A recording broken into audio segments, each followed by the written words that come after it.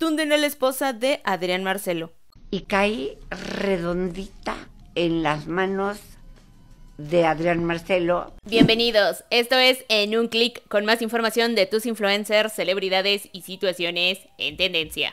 La atención sobre las declaraciones de Adrián Marcelo dentro de la Casa de los Famosos ha generado miles de comentarios hacia su esposa, familiares y amigos. En redes sociales el comediante se ha caracterizado por su enérgico sentido del humor, cuestionando el rumbo de su participación dentro del reality, donde se ha mostrado frontal para demeritar y burlarse de sus compañeras. La Casa de los Famosos es para gente que no tiene trabajo. O sea, Yo aquí sí sí te han hablado. trabajo, ¿verdad? Sí te han hablado. La- isla, toda esa reality son para gente sin trabajo.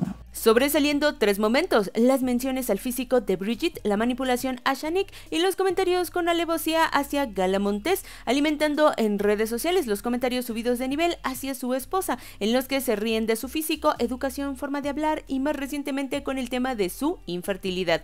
Mi compa el Peñafiel, porque no en panzona.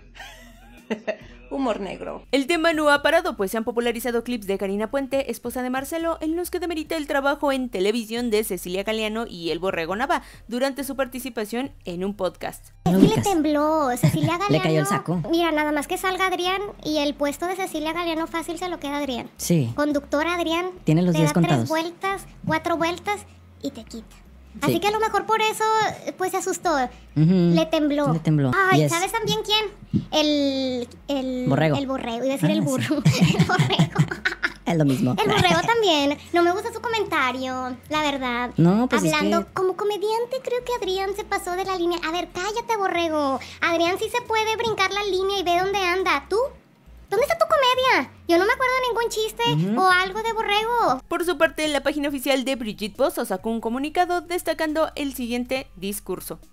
Queremos hacer mención y dar visibilidad sobre lo que está pasando en la Casa de los Famosos México, que extralimita ya los niveles de un juego.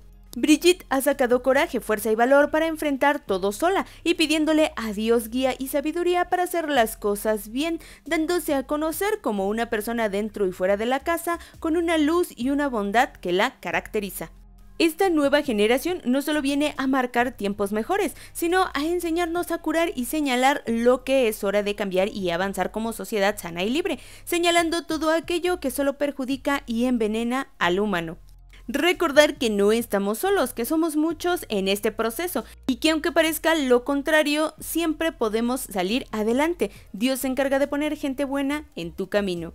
El tema ha sido tan mediático que varios influencers y celebridades han desaprobado las acciones de Adrián Marcelo. Lo que está haciendo Adrián es lo que me hicieron muchas veces. Te quieren llevar al límite para y decir, ¿ves? ¿Ves cómo si estás loca? No basta con apagar las cámaras, tampoco con disculpas tibias o salirse por la tangente como está sucediendo en las últimas horas en este programa de televisión que es tendencia en todo México. Y es el mismo público que en un principio sentía simpatía por este conductor que ahora pide que por las actitudes que ha tenido con Gana.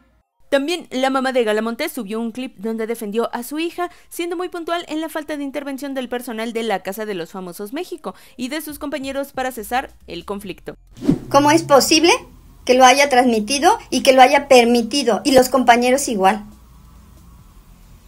Que hayan visto que una, una de sus compañeras peleando con un hombre y no hagan absolutamente nada por separarlos, por calmarlos, por tranquilizarlos. Hasta el momento los ánimos sobre el reality show están caldeados, pues también se pronunciaron los fans del influencer a defenderlo sin mucho éxito, mientras que su esposa prefiere continuar con su vida y dejarlo morir solo.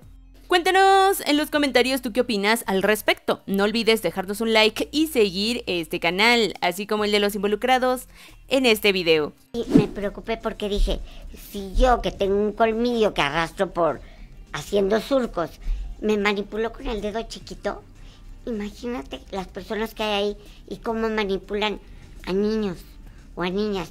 Y no hagas esto y no le digas al otro. Tengan cuidado. A veces la gente que te endulce el oído te está usando. Yo soy Mali y esto fue En un clic. Nos vemos.